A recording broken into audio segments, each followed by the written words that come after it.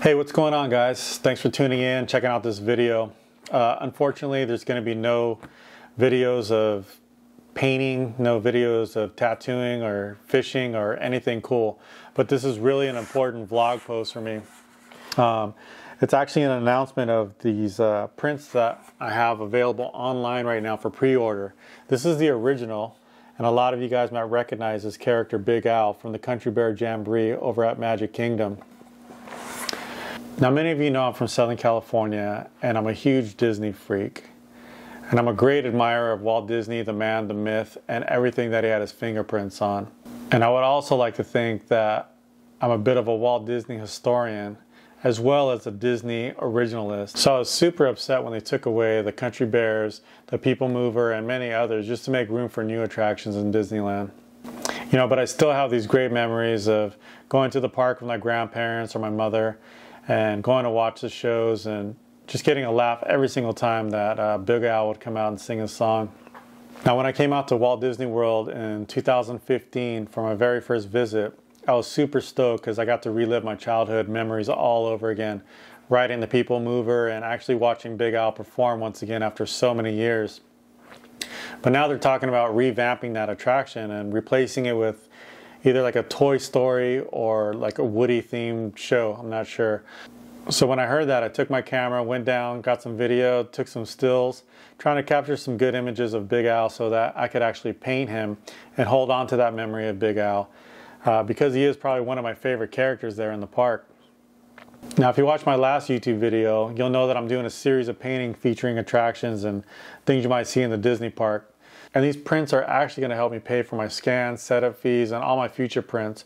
So that's why this video vlog is so important to me. You know, me and my family were impacted pretty hard from this uh, pandemic.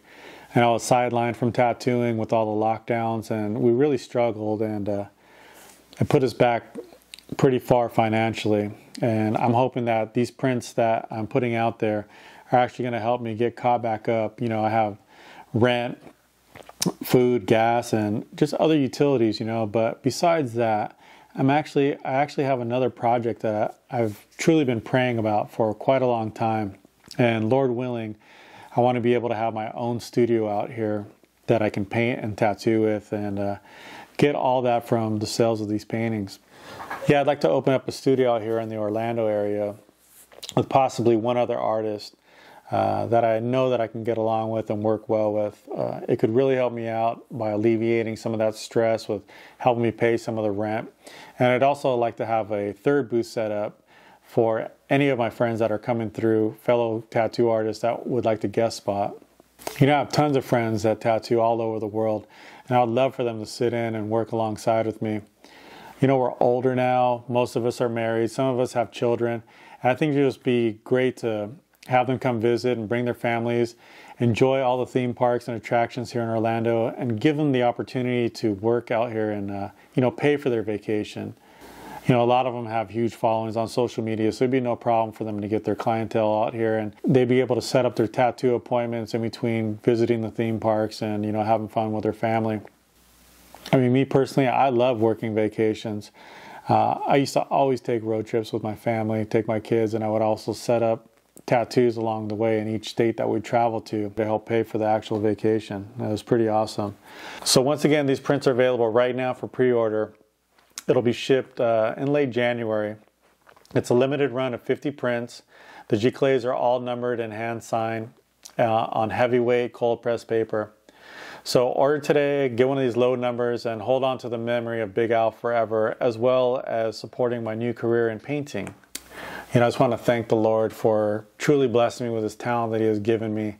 You know, I just pray that His glory just shines through everything that I create. You know, I don't want to hold any of this in for myself. I want to give all the glory to God.